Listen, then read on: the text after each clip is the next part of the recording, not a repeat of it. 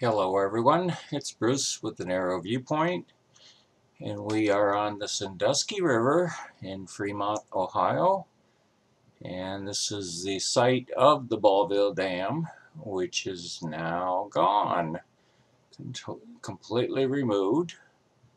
We're going to take a trip upstream kind of take a look at what has changed and what's going on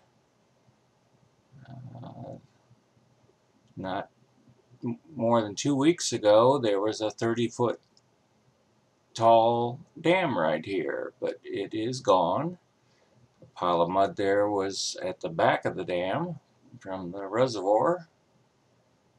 We're going to move upstream and climb up over these high tension wires. They love to eat my drone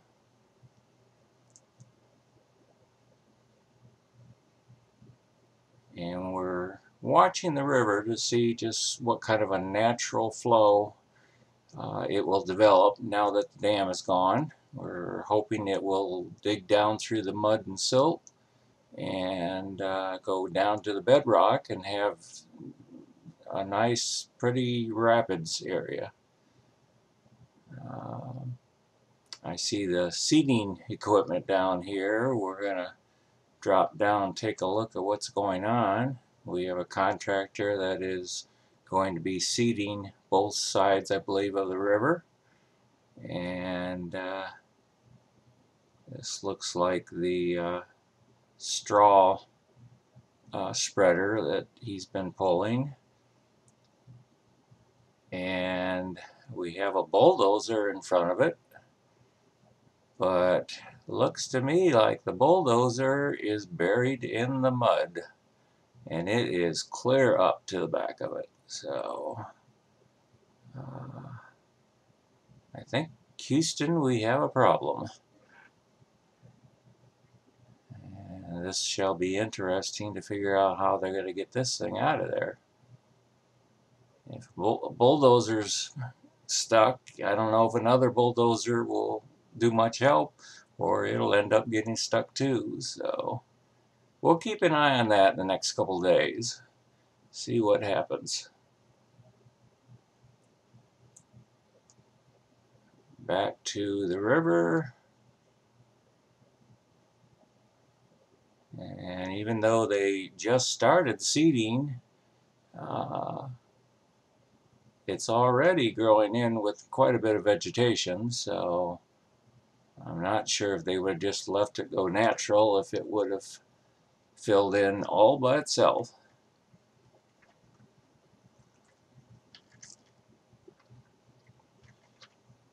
About up to what we call Lutz School, little elementary. Uh, this is where she widens back out. And even though a lot of water has come down, this area really hasn't changed a whole lot. Uh, water depth is definitely dropped some. But this is kind of a, just a, the natural slow moving river. Straight ahead you're seeing the Fremont Reservoir. I believe most of the drinking water is coming out of there.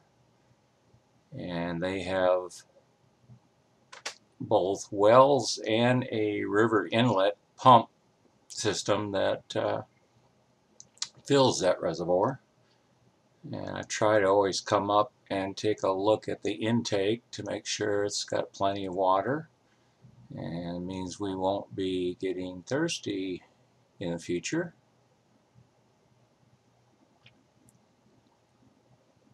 Now, a later flight we'll head from here and go on up to Tyndall Bridge but this is about as far as I want to fly today. You can see the intake here and looks like they've got an excavator uh, excavator that they've been cleaning this out a bit and digging it maybe a little deeper and that looks uh, like there's plenty of water. So we won't have any trouble here with water going in, into the reservoir. Gander out upstream a little bit and then time to head back home.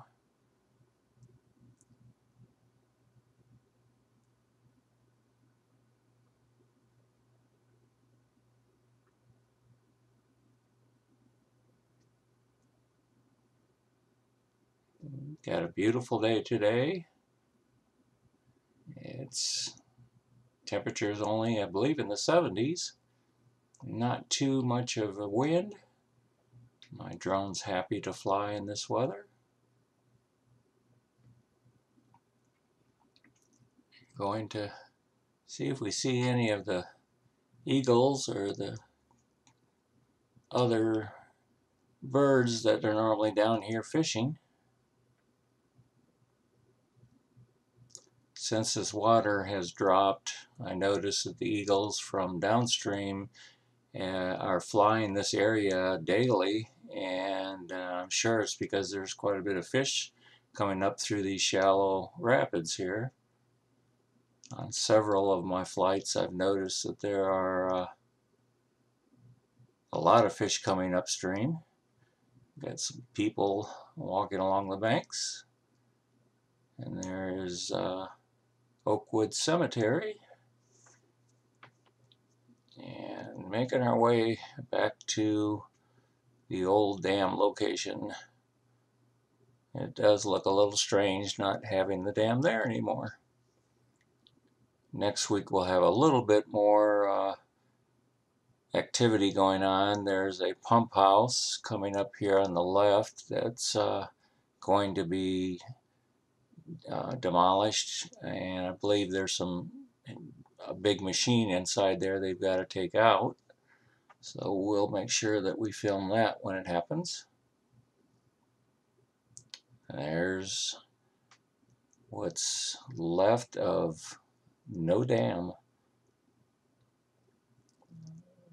A little bit of mud yet coming down from all that silt and mud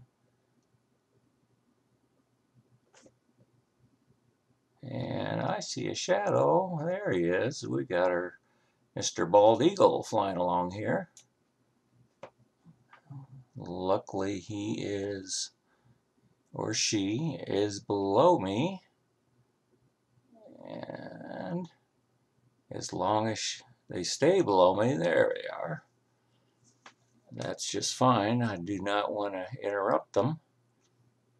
They are They don't like drones very much. Uh, we'll keep an eye on them for a minute here. I wish I could get closer for a much better shot, but that could mean the end of my drone. So we'll let them circle around a little bit more.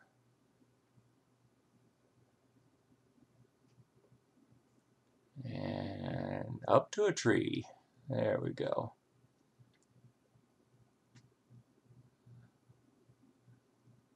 See if we can't come down just a little bit for a closer look, but uh, I am going to keep my distance.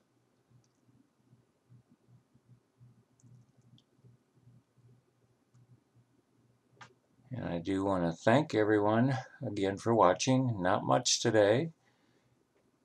We'll be going up and downstream for the next few days, and it may be every other that I film since there's not a lot going on. So thanks again for watching, and we'll see everybody in the next day or two.